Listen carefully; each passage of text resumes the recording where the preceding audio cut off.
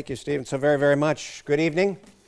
It is wonderful to be with you, and I thank you so much for the honor of joining uh, you here at the Oxford Union. What a, what a great privilege it is. Uh, um, my wife Betty and I have been here in London, uh, here in England for uh, four days now, five days. Uh, uh, we spent yesterday at a rainy Stonehenge and over in Bath to see the Roman baths, so we've gotten a little bit of the flavor of the, of the surrounding community. I wish you a happy United States Thanksgiving. Um, I understand there are some U.S. citizens here. How many folks from America? Good group, that's great. We couldn't find any turkey this morning, so uh, we'll, uh, we'll, see if we can find it on the way home. Um, uh, I have been, I, what I'd like to do today is talk a little bit about uh, the United States healthcare system um, and uh, um, uh, some of the dynamics of the system, some of the challenges that we have, and some of the solutions that, that I see. Um, and by way of introducing that, I thought I would spend a little time talking about my background um, and then run through that uh, that, uh, uh, that, that list. and then I look forward to questions and answers. I'm not going to talk about U.S. politics during my remarks, but I'm happy to answer any questions that you might have. Um, we are competing, the, uh, the uh, United Kingdom, England, and the United States, to have the most calamitous political uh, theater around. I've noticed the, the headlines actually in our stay here in, in the UK have gotten larger and larger and larger, so you know that the import of what's going on gets greater and greater. Uh, but I want to share with you a little bit about my background because I think it, it, it, kind of informs why I uh, believe many of the things I do about healthcare. Uh, I'm a third generation physician. My dad and my granddad were docs. Uh, my grandfather graduated from medical school in 1908, um, eons ago, right? Um, and as a child in, in, the, in the early 60s, I remember vividly uh, going with him on the weekend to, to round and see his patients. Uh, that didn't mean uh, getting in the car and going to the hospital and seeing patients. That meant getting in the car and going to people's homes to see how they were doing. And as a child, uh, seven, eight, nine, ten years old, I remember we would pull up at these homes and we'd walk up to the front door. And in my childhood memory, I was thinking, what on earth are we doing here, right? Uh, why, what, uh, what, what, uh, what uh, import could we have uh, with, the, with these folks? And we'd knock on the door, and instead of people coming to the door and answering the door and throwing the door open and saying, um, Who are you and what do you want? they would invariably say, again in my childhood memory, Oh, Dr. Price, welcome, come on in and they'd give him a hug. And I think what that did to me was to cement that incredibly important relationship between physician and patient. That caring, loving, concerned relationship between physician and patient, caregiver and care receiver. Um, and I think that, that uh, one of the keys to quality in healthcare is that relationship, and that has colored um, my, my, um, uh, the way I have approached the solutions to the challenges that exist uh, in, in, in healthcare in the States. Uh, I did my undergrad med school at the University of Michigan, uh, then went down to Emory University to do my orthopedic residency, spent about 20 plus years taking care of patients as an orthopedic surgeon. Uh, then uh, uh, along the way in that, in that process, I got the bug to run for political office um, and ran for the state senate, served in our state senate from 1996 to 2004. Um, and then uh, in, in, the United States House of Representatives from 2004 to 2012 to 2017, um, and then a very short stint as the first uh, uh, HHS secretary for uh, President uh, Donald Trump. Um, and I mention that because that experience uh, oftentimes results in questions to me about. okay, Price, you're, you've had all this experience, you've had all this knowledge, all this work um, what on earth would you do to fix the United States healthcare system? Um, and uh, I'm always amused by that question because it belies where we find ourselves in the states as it relates to healthcare. And that is that we don't have a healthcare system. Uh, we have healthcare systems. Um, so we have Medicare for seniors, we have Medicaid for those at the lower end of the economic spectrum, we have the exchange market, the Obamacare market, which covers only 11 million people out of a population of 320 million, and all the, all the attention that that, that, that is seen. We have the, uh, uh, um, the employer-sponsored uh, uh insurance coverage, which covers the vast majority of the American people, about 170 million. uh, of that 320 million are covered by their employer.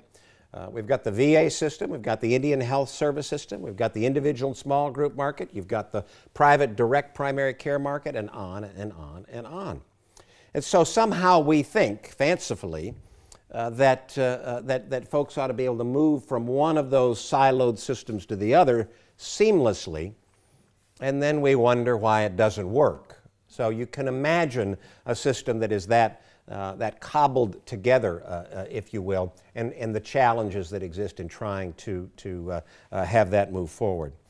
Um, one of my goals has always been to harmonize the system because I think folks ought to be able to move seamlessly between those, those, uh, those siloed systems. that has been a real challenge. It used to be when my dad and my granddad were docs that they would charge patients who had a little more, a little more, so they could care for the individual that had a little less uh, and, and, and not, uh, not force them to, uh, to have to pay with something that they didn't have. Uh, it's called cost shifting. Um, doesn't, that, that, really doesn't work anymore. In fact, it's illegal to do that now. Uh, but it, it wouldn't even work if it were um, uh, possible to do so because of the technological aspects of our, of our current healthcare system. Um, so we still have a huge challenge, and that is 28 million individuals are uninsured in the United States uh, out of, again, that, that total population of 320 plus million.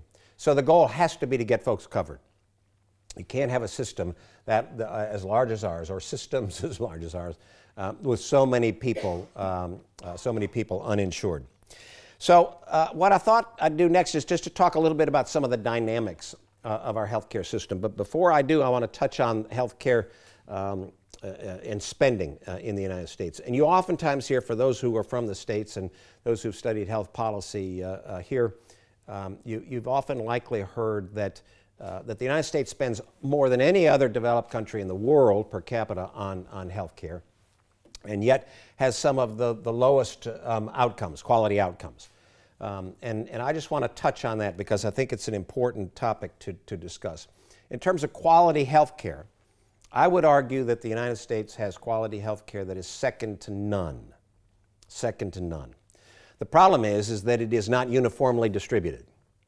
And, and, and that's the challenge. It's not that the quality of health care is bad, it's that, the, that, the, that there are some in our society who are unable to access uh, that quality, which is a different challenge, different question to answer. And if you don't recognize that, if you don't make the right diagnosis there, you're not going to not to be able to, to, to solve that problem.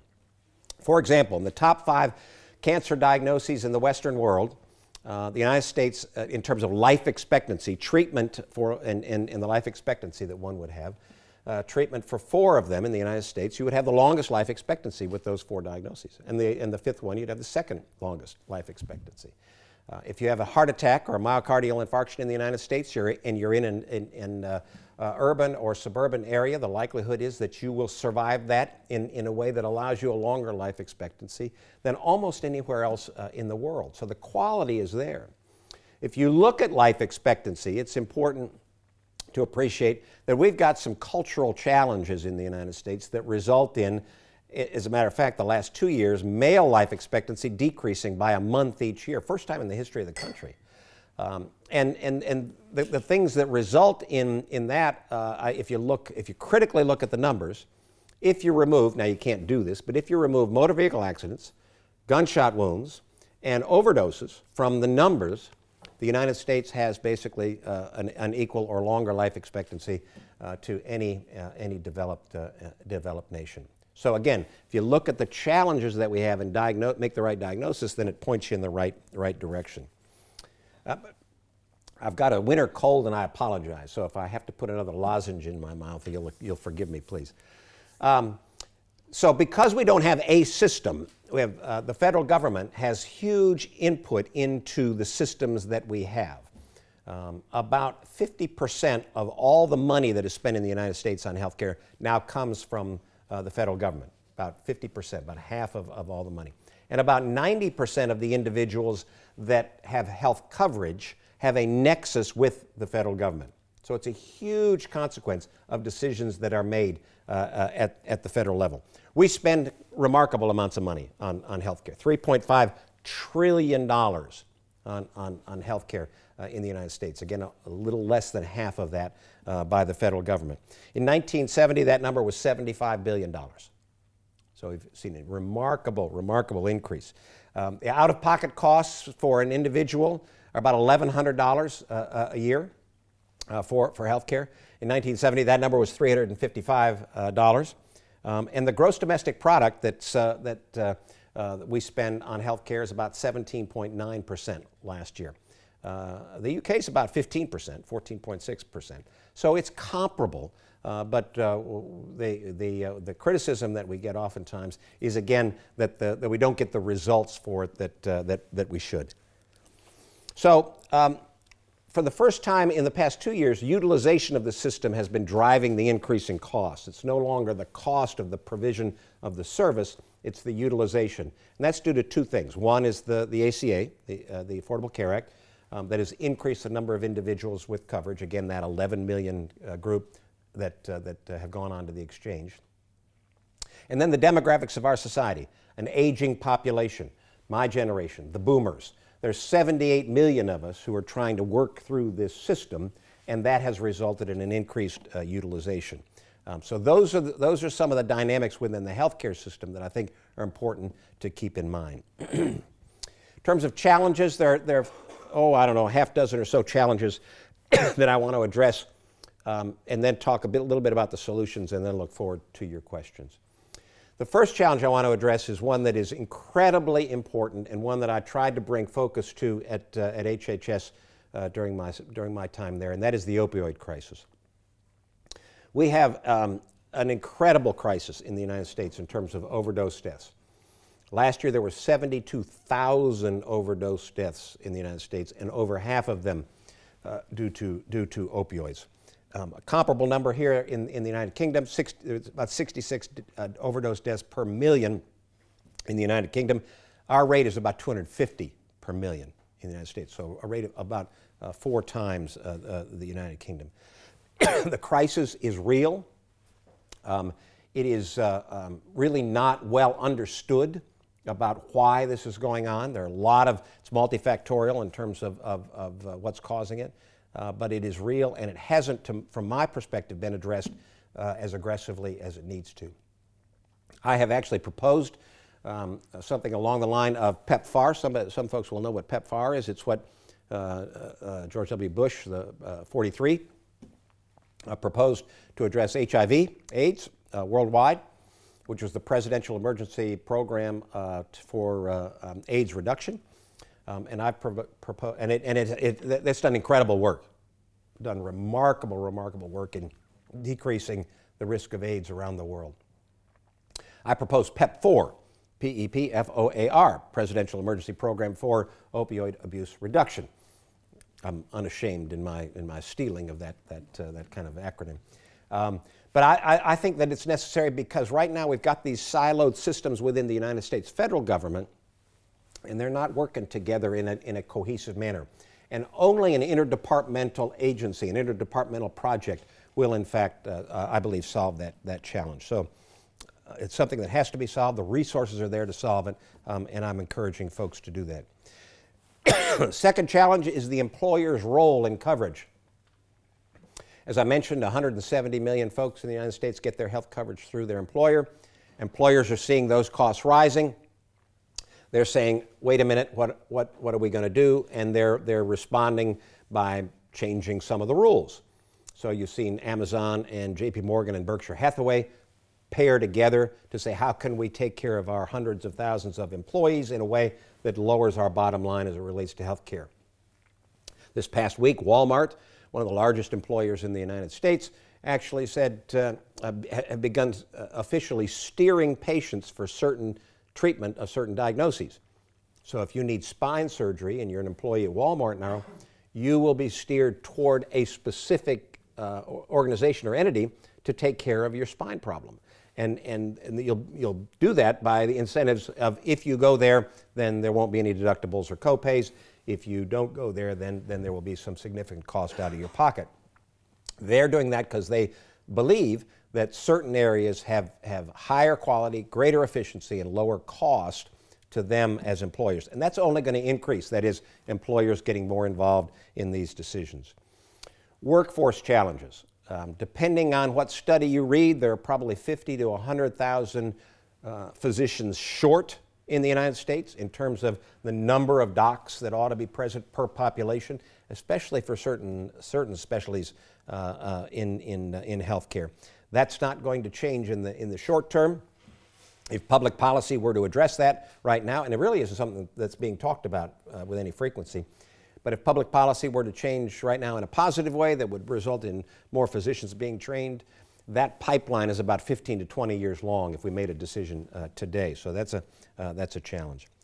Drug prices, you've heard a lot of talk, uh, I suspect, about drug prices in the United States and, and, and how they're, they're too high, uh, according to many, and, uh, and, and the President and his administration has proposed reference-based pricing to Western Europe prices that are, that are extracted from the pharmaceutical companies uh, for certain, for certain um, pharmaceuticals. Um, I think that's a bad idea. Uh, I believe that uh, it may, in fact, result in decreasing resources for research and development. Uh, I think that problem is actually a trade problem and that the United States uh, would, would uh, do better to address the trade imbalances between uh, our nations as it relates to, to supply of pharmaceuticals. We're going through a merger frenzy in the United States now with, with both horizontal and vertical mergers. Um, uh, consolidation of the healthcare system, uh, all of which is, an, again, an attempt to, to decrease unit costs for, for the provision of services to, uh, uh to the individual patient. Um, and some of that is good, uh, remove some of the waste. Some of that, I believe, is, is harmful because it actually decreases the ability of patients to affect the kind of care that they want to receive. There's a continuum of, of regulation and innovation. Uh, we all want certain regulation in, in healthcare, but the more regulation that we have, I would suggest, results in decreasing innovation. Um, and so you got you to have a balance there. And this administration is intent on decreasing the regulatory oppression, if you will, in the area of healthcare in order to stimulate that innovation, both on the clinical side and on the technical side uh, of, uh, of uh, providing coverage for folks. One area that's a challenge and, and, and uh, um, I think a significant change that we'll see that I'm really excited about is all of the artificial intelligence that's now available um, uh, in, in healthcare, the wearables. Uh, Eric Topol, T-O-P-O-L, wrote, wrote, a wonderful book a few years back called uh, The Patient Will See You Now, uh, which talks about the democratization of medical information, healthcare information. And uh, patients now are able to have huge amounts of information about their own health status, about their own, uh, uh, whether it's glucose, what their own heart rate is, what their EKG looks like, what their, their all sorts of things, all sorts of lab tests and the like, and they have it oftentimes in real time.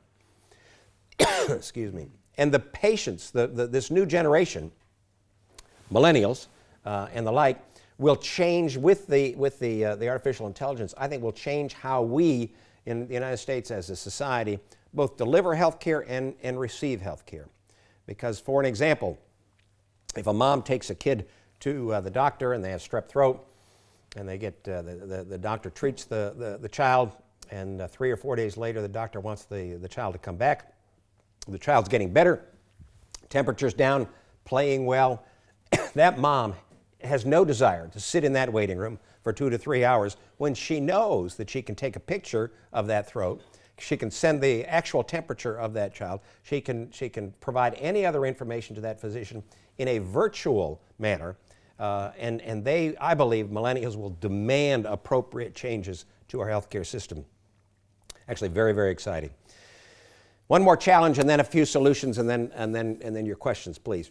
Um, one of the biggest challenges that we have in the States is our demographics, and I alluded to it earlier.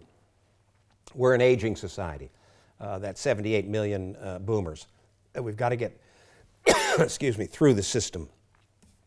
Because of that, one of the consequences of that is individuals are leaving the insurance pool pre Medicare, going into Medicare, and that's lowering by a percentage of the population the number of individuals in that pool, if you will, uh, both the uh, employer market and the exchange market.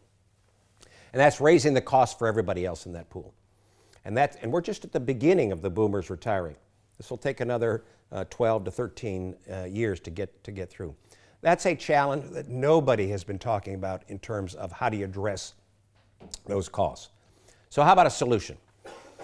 Um, I've been privileged to work for almost 25 years as a, as a public uh, uh, figure uh, in the area of, of healthcare and have put forward one of the most comprehensive, from my perspective, positive solutions as it relates to healthcare, the Empowering Patients First Act, which would allow patients to, to own and control their own health coverage regardless of who's paying for it.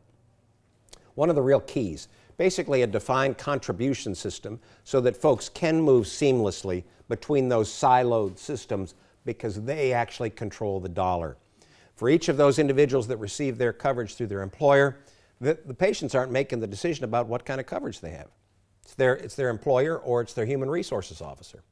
That removes the patient from the ability to actually affect the system, affect the kind of care that re they're receiving and the individuals providing uh, that care. HR 2300 is the bill. If you want to look it up in the 114th Congress, you, you, uh, you can read about it. Um, uh, it, it's one of the things that, uh, that I think is really exciting in terms of, again, putting that patient back in the driver's seat so that you can continue to have that caring, loving, compassionate relationship between that caregiver uh, and, and that care receiver. Um, hasn't happened yet, uh, so, uh, but hope springs eternal, and we'll continue to work on it. It's an incredible pleasure for me to be able to join you today, and I look forward to your questions. Thank you so much.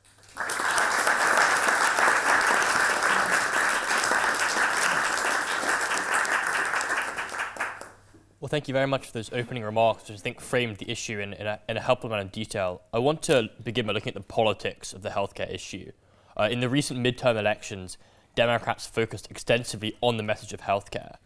Do you think that repealing parts of Obamacare still ha uh, has a political win factor for Republicans, or is it simply old news and do people need to look at new solutions? I, I alluded to a couple times in my remarks that, that we're not looking at the right problem. I think there's a lot of common um, interest and a lot of commonality in, in Americans' perspective on healthcare if you talk about principles. The principles of healthcare are such that, that our society basically believes that everybody ought to be able to afford coverage, everybody ought to have access to coverage, that the care ought to be of the highest quality, and that patients ought to be making choices. That's, that's basically the principles of healthcare uh, that, that, that we believe we ought to have in our system. Um, so if you look at, at, at the Affordable Care Act, there are certain areas where, from our perspective, my perspective, we violated those principles.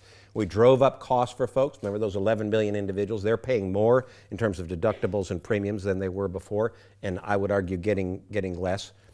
Many of the choices that they desired were removed. Couldn't keep their doctor necessarily, couldn't keep their, couldn't keep their plan. Um, and so if we violate those principles that basically all Americans believe in, um, then, we, then we head down the wrong path. That's why I think it's important to try to address those principles and come up with a solution that, that, that answers and responds to those principles. I don't think you'll see a, a, a repeal of, of the ACA. Uh, I don't think that's politically viable. Obviously, uh, last summer, the, the Congress demonstrated that they were not able to pass a repeal uh, of, of the ACA. Uh, so I don't think that's going to happen, but I do think that there are huge problems within our healthcare system that need to be addressed. And that's a common theme that you hear on, on both sides. The question is how you work through that and, and, and solve those challenges because folks are still having problems out there and we continue to have 28 million uninsured. Sure. You mentioned the opioid crisis in your remarks, and I wanted to ask to what extent you felt able to tackle that from an HHS perspective, or to what extent that becomes more of a law enforcement uh, gang issue. Because I know it's a priority for President Trump's administration. Well, there's a supply side problem. We've got then uh, we've got huge uh, uh, amounts of illicit uh, drugs coming into the states. Availability of those illicit drugs now uh, more powerful than ever, stronger than ever. Um, and that's where so many people are dying. There's no way to have quality control on illicit drugs, obviously. And many of these drugs are, are uh, of such a, a, a, power that they kill rapidly. Um, so there's a supply side problem, but there's also a demand side problem. Um, when I was at, at the department, uh, we, we uh, uh in, in, were in the process of proposing a strategy to address the opioid crisis that included making certain that, that we had appropriate resources for diagnosis and treatment and recovery, and that was recovery was possible. There are many folks who believe kind of uh, um, categorically that recovery isn't possible. I don't believe that. I think recovery is possible. That, uh, that overdose reversing drugs, Narcan and naloxone, ought to be universally available everywhere. Um, the, these, when, when folks overdose, you, you need to have that drug there immediately to reverse the overdose. Uh, so they need to be uh, need to be everywhere. The NIH is doing incredible things. National Institute of Health doing incredible things. They're working on a non-euphoric um, analgesic, a, a, a, pain medication that doesn't result in that drug-seeking response or activity uh, from folks uh, who, who, uh, who uh, are potential to become addicted. Um, the, the, the whole why of all of this, the public health aspect of all of this. Why is it that we have 72,000 folks who overdosed last year? when again 15 years ago the number was 5,000. So it's, I mean, something has drastically changed. We haven't answered that question. And then finally, how we treat pain in the United States. We've, we've gone through a 20 year experiment in, in thinking that, uh, that, that, that, pain was a bad thing.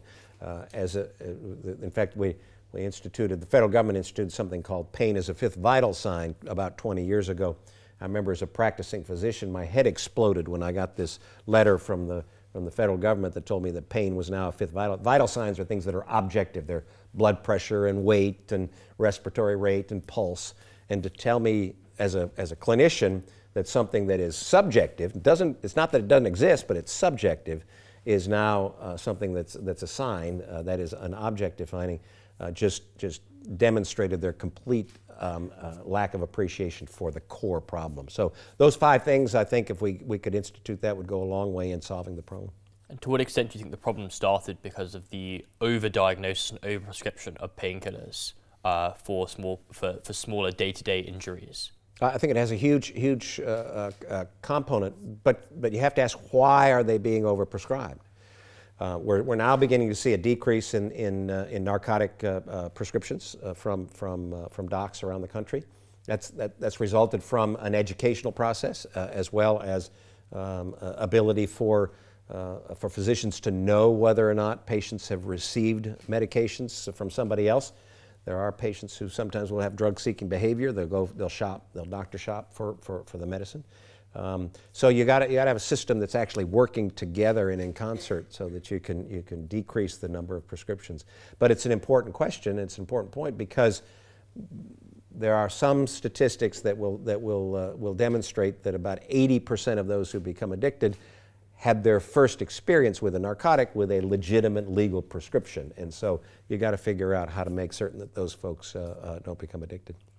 I want to move on to looking at the issue of, of, of, politics in America. And I want to begin by asking when you endorsed Donald Trump during the primaries, uh, you said it was for the sake of party unity that Republicans could only succeed if they were unified.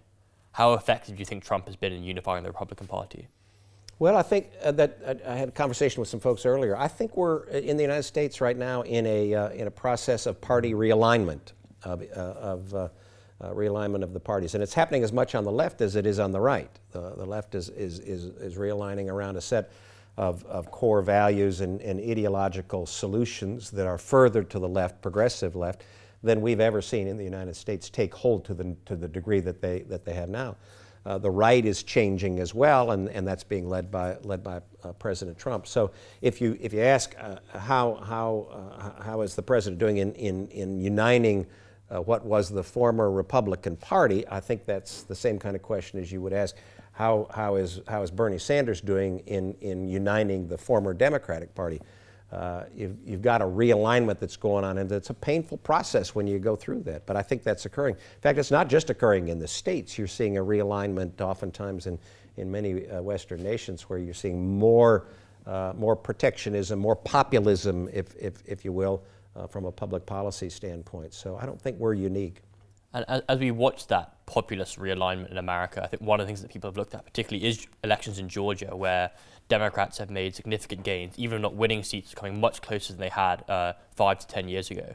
Uh, to what extent do you think Trump's realignment of the Republican Party is going to put off middle class suburban voters? Well, that's a, it's a huge question, and, and it's a key that both, both parties have to be able to appeal to uh, the, that, that 30 to 40 percent of the folks in the, in the middle, if you will, the center left and the center, center right, in order to win. Uh, uh, but it's a, it's a dynamic process. It's a pendulum, and it swings uh, back and forth. And we're in that process right now of trying to figure out. Obviously, many of the suburban seats that, that we, the Republicans, won in 2010 when we picked up 63 new seats and took the majority uh, by huge numbers in an historic election um, in the first election after President Obama's original uh, election in, in 08 many of the seats that we won were the ones that were, were, were lost uh, this time and returned to, uh, to uh, uh Democratic representation. So it's a, it's a dynamic process that, uh, that, that's occurring, and twas ever thus, right? I mean, it, it, ours is an entrenched two-party system, um, and, the, and the parties have to figure out how to appeal uh, to that middle, and, and, and I think it's important that, uh, that they do so based upon the principles that they, that they, uh, they articulate and that they possess. The question is whether those principles among the parties are changing, and that's, uh, that's, a, that's a bigger question. In the recent uh, Georgia gubernatorial race, those principles were at times in doubt when there was an extensive discussion over the integrity of that race.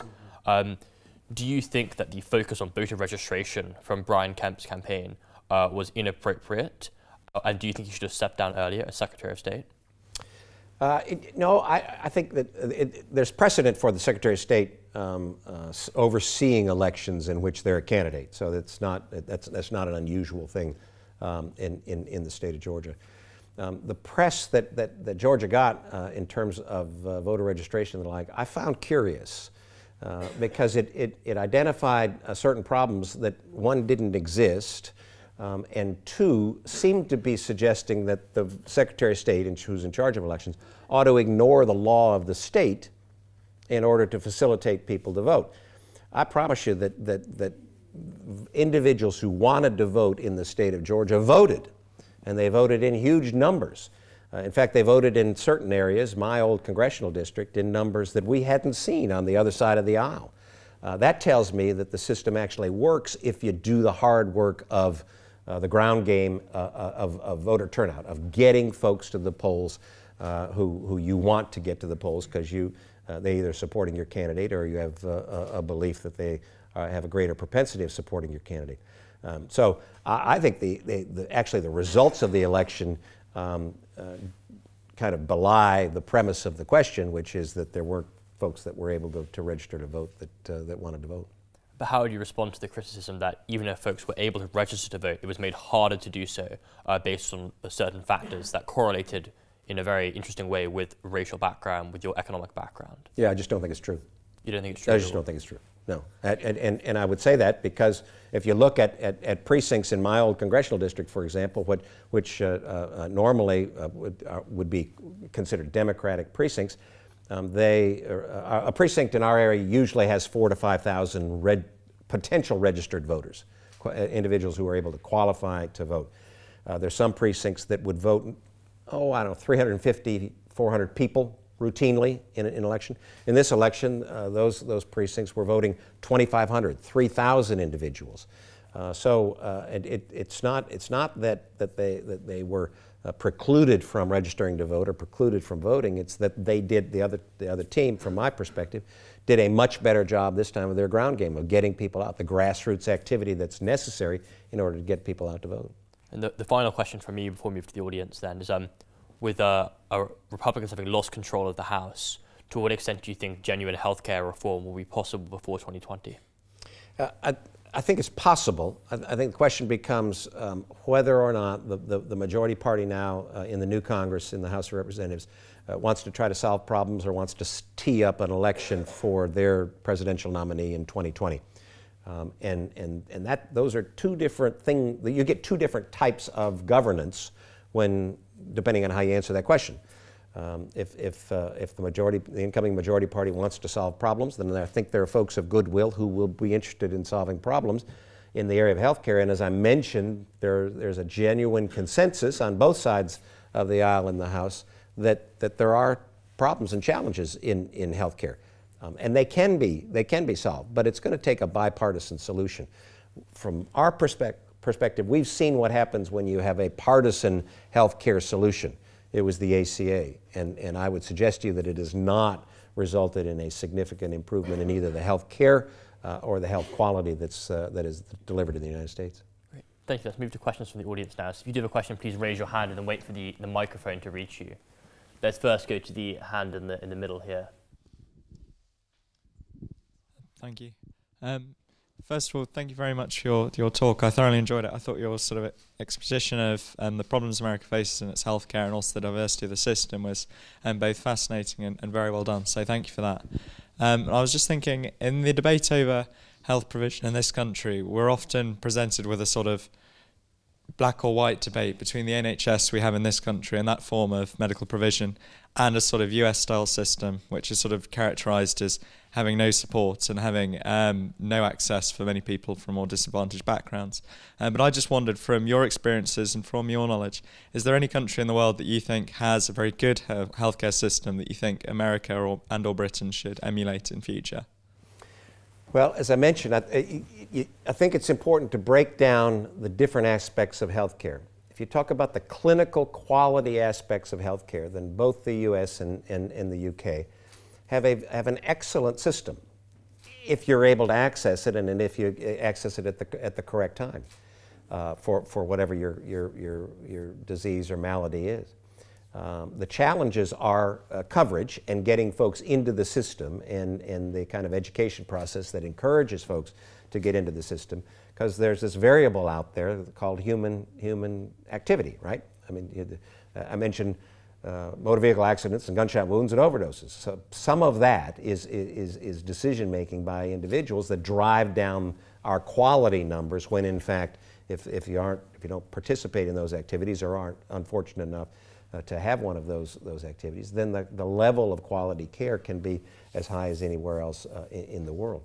So um, when we focus on coverage getting folks in the system um, and, and marrying that with a system that I think um, uh, allows patients to have greater input into what that system looks like, I think Switzerland is probably the, the, the, the best example, which basically allows everybody to take a, a, a, uh, um, a portion of resources, a portion of money, and purchase the kind of coverage that they want. So there's a private, if you will, system of, of, insuring, um, of insuring and coverage, and the patients have resources to be able to access that. The government doesn't run the healthcare system. Now, for the states, it's a little more challenging because of the size. We're, we're, for every other system that, that, that's out there that's oftentimes used as an example for the states, we, we're, we're five, six, ten times larger than whatever that example is. And culturally, we're different around the nation, and the distances are huge. So, for example, in Alaska, there are, uh, uh, are over, as I recall, over 600 communities that have no access by road. You got to fly into them, or you're, you're, you're just there. Um, that's a completely different health system than metropolitan Atlanta. Um, and you have to have a flexible system and one that's able to be, be flexible enough to respond to those challenges, both with, with resources, but also, also with structure within, within the system itself. Great, thank you. Next question, please. Yes, let's go to the uh, gentleman on the aisle here.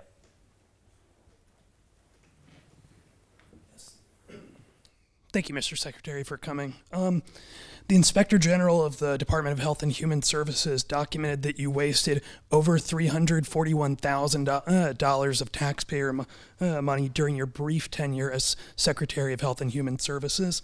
That's more than triple what my wife and I made last year for our combined income. My question is how you sleep at night wasting that kind of taxpayer money. That's a good UK question. Um, actually, it's a good US question. Uh, you could ask that over there as well. Um, it, it, I, would suggest to you that the, the, the facts that you stated um, are um, in dispute, one, and two, that you didn't include the most important fact in that Inspector General's report, which was that every single trip that I took was authorized and approved by the department before I took it that it was all within budget, and that they were all for official business. So um, the, the, the, the, question that, that, that arose was whether or not these were appropriate trips. So for the first time ever, the Inspector General of the, of the Health and Human Services Department determined, this is, this is an Inspector General determining whether or not there was wasted, wasted money. This is $341,000, by the way, in a budget of $1.1 trillion. Important.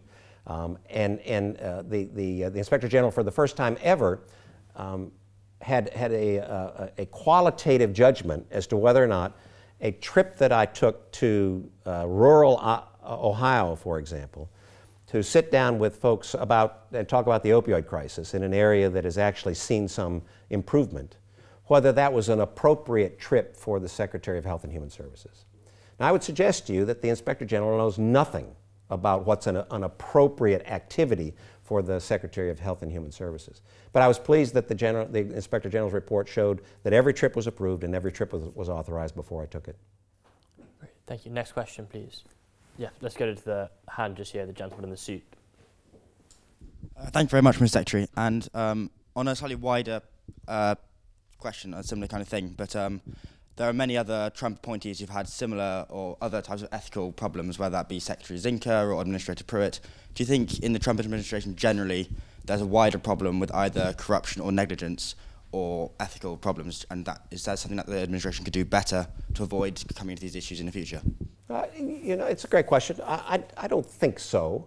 I, I, do think that the press has been, uh, been uh, remarkably um, uh, aggressive, or if, you, if you're uh, in favor of the kinds of things that they report, the one you would say diligent in, in, in identifying uh, certain, certain challenges, if you will.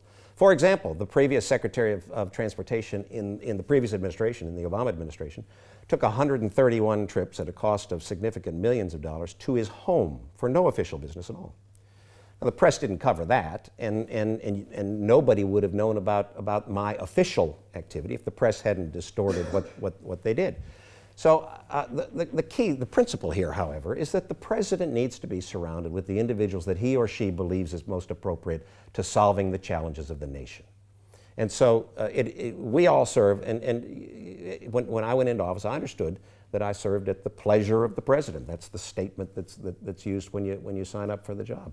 Um, and if you lose the pleasure of the president, then it's the president's prerogative to find somebody else. Thank you. Next question, please. Yes, let's go to the hand at the back here.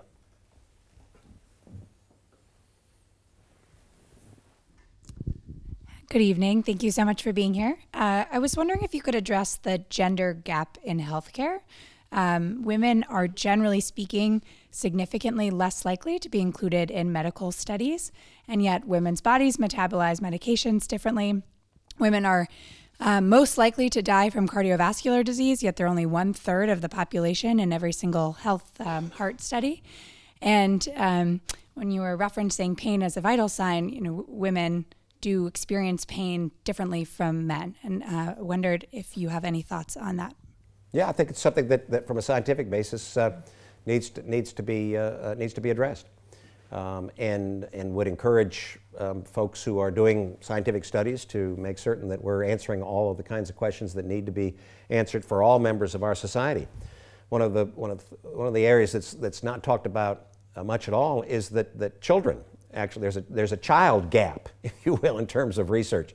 Uh, because most of the medications that are prescribed for children, both here and in the States, have no studies that have been done on kids. None. So we treat kids as just little people when in fact they are more than little people. They're, they're, they're metabolically and, and physiologically, uh, in many ways, significantly different. Um, and so uh, um, I, I, think you know, science is an evolving activity, it's a dynamic activity. And so the more we learn, the more it, it allows us to inform the decisions that we make for the benefit of, of, uh, uh of in, in, in the area of health. Uh, uh, for, for, for this case, for, for benefit of, of patients. Um, I don't think there is a concerted um, effort to not provide the highest quality information so that individuals can, can, can treat uh, their female patients uh, as well as, as, as they uh, possibly can, or can treat kids as well as they possibly can. Uh, but it's an, it, it, it's an evolution that has to occur, and it's a, a question of, uh, of focus. Um, and would, would encourage people to do so. It is interesting, however, that women live longer than men in the States. So you, so it, I mean, you, you have to have to answer the question: what, what what's going on there? Are are are, are they uh, are there are there uh, uh, issues that, that we're not looking at in terms of of, of male health uh, that are uh, uh, that are not able to allow males to be able to live as long as, as women? I would I would prefer to live as long as as, as my as my wife, who will outlive me for sure. But, um. Next question, please. Yeah, let's go to the back on the other side. Thank you. Hi, thank you for speaking this evening. Um, the United States has a very high maternal uh, mortality rate among developed countries. It has the highest among well developed countries, um, and it's actually increasing right now. Um, when I'm not here, I live in Virginia, and that's one of the places where it really is increasing. Places like Virginia and Texas that have large distances between uh, rural populations and hospitals and cities and um, more urban areas. Um, and it, uh, part of the reason for for this mater- this increase is that um, hospitals in rural areas are closing, and if whole hospitals aren't closing, then at least maternity wards are, and that's through a combination of something that you um, mentioned, which is the scarcity of doctors that we have, and it's also because people in these areas can't afford their health care. It's either they can't afford the insurance or they can't afford to pay outright, and so it's not. Um, financially viable for these hospitals to stay open or to keep these um, maternity wards open. What do you think are some solutions? Um, in the immediate to solve these problems you said you know we're not going to have an increase in doctors we're not going to um, cover this doctor shortage and um, obviously it's more complicated to um, increase the number of insured people. Um, so, what do you think are some short term solutions to make sure that women um, and um, expectant mothers are getting the health care that they need? That's a great question. and it's a real problem. But you got to unpack the question a little bit. Um, is, is there a problem with, with, with uh, uh, maternal mortality and infant mortality in, in, uh, in, in the states? Absolutely is in certain areas. And it gets to the point that I made about, about an, a non uniform provision of services in the states for all sorts of reasons. Um, availability of physicians, uh, rural areas being far from, from, uh, from folks who can, who can provide care, um, uh, lack of education in certain instances for individuals to be able to appreciate the kind of care uh, that, that, that they need, and therefore a lack, uh, lack of, uh, of access. Um, it, it's also important to appreciate that the United States measures at least infant mortality, in, in different ways than many WHO countries, which is where most of these statistics come from, uh, than, than many uh, World Health Organization countries measured. So there's some World WHO countries, or there's some countries that are included in WHO stats, where if the if the, the, the child that's born, the baby that's born, doesn't survive at least a week, then they aren't counted in the infant mortality.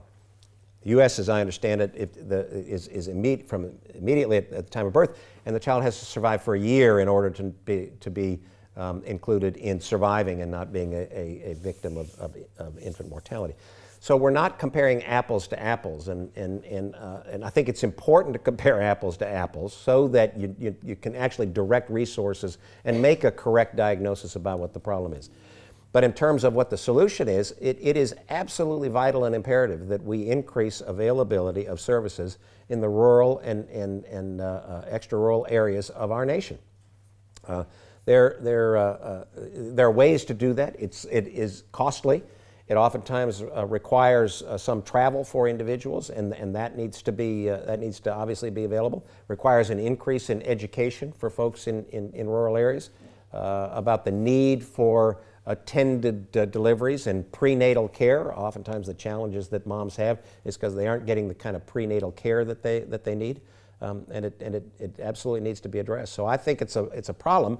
My one of the concerns that I have is that, that when policymakers are, are the ones that are trying to, are, are the ones solving the problem, they tend to throw resources at the problem without an actual solution.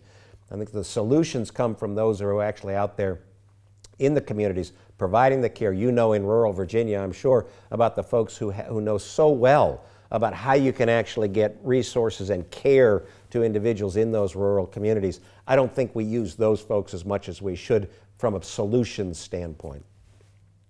Great, thank you. Next question, please. Let's go to the, uh, the person in the aisle here, in the glasses and scarf. Yeah. Thank you, Mr. Secretary. You talked earlier about how there's presently a realignment of the political parties on both the left and the right. On the right side of the political aisle, uh, where do you see the Republican Party moving in a kind of post Trump world? So, say Trump is re-elected in 2020 or he's not re-elected in 2024 what do you see as kind of the kind of uh, the perfect republican candidate in a post-trumpian republican party Um, well, I, I, think the question is whether or not this realignment is actually going to occur, or whether this is a blip in, that, that, that we sometimes see in, in U.S. history in terms of ideological affinity of folks for, for either party. And as I say, we're in the middle of it. I don't know the answer to that. I would tell you that there are folks who, who are, are strong believers in, in, um, uh, in, in, free markets, in, in, um, uh, in, in, free trade, uh, free and fair trade um, and, and in the kind of solutions that, that, uh, that don't include the, the, um, the amount of spending that we've seen uh, in, in the United States. I, I, didn't put my budget hat at all on uh, this evening, and if I, if I did, I would tell you that the United States has a, has a, a, a, a, debt that is larger than 100% of its gross domestic product. And if you know anything about economics, you know that, that when nations get to that level of debt, it becomes increasingly difficult to finance that debt. And at some point, uh, the economics don't lie, and you've got to, there'll, there'll be a reckoning. And, and that reckoning is an equal opportunity destroyer of lives because you have to monetize the debt and inflate your way out of, out, out of that debt. And that's not comfortable for anybody. And for us as a society to ignore that, as policymakers to ignore that, which I think is basically what has been done through both Republican and Democratic administrations, I think, I think that's, that's, uh, uh, that's, not, uh, that's not a responsible tack to take. So the, uh, the people will decide what, what ideological uh, group uh, they believe um, will, will, will form the majority that will allow for the, the, the, uh, the governance of the nation at two-year intervals or four-year intervals for, for the president. And we'll see whether this is a, whether this is a shift that, that has any permanency to it. I don't, I don't, I don't know the answer. I really don't know. Uh, um, it's going to be fascinating to live through. Um, and for, for uh, um, those of us who were in the conventional Republican Party, we uh, will we'll continue to work and, and, try to be certain that, that, that, that, the tenets and principles of that party uh, survive. Great. Let's just take two more questions. So Let's first go to the other hand on the aisle right here. Uh, so, with regards to this quote unquote uh, realignment or blip, uh, I'm sure you're aware a large part of that is the movement of suburban women towards the Republicans and the Democrats, and that, you know, caused Lucy McBath to win your old seat, of course. And uh, I was wondering what you what you think, or whether you think the Republican Party should make any effort to court back those suburban women, or whether you should just accept that as uh, part of that realignment process, and if so, if they if they do attempt to court back those Republican uh, those former uh, Republican supporters, those suburban women, uh, what that would look like? Does that come from Trump changing uh, his own behavior? Does that come from uh, an alteration in messaging from the minority leader designate McCarthy or the NRCC? What's that going to look like in the future? Yeah, I think. Uh, um, I mean, I, when I, I, ran for office, uh, I think I ran, I can't remember, 20 plus elections, both primary and, and, and, general, over a period of 20 plus years. Um, and I, I never believed that there were certain voters that I ought to ignore and certain voters that I ought to attend to.